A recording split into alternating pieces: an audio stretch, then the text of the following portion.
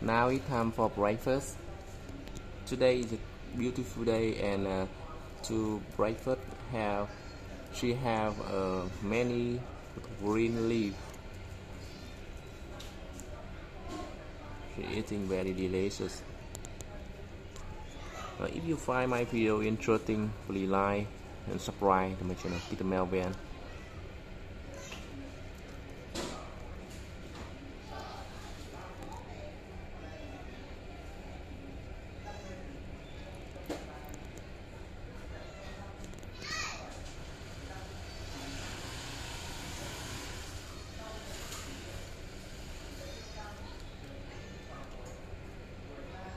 very beautiful.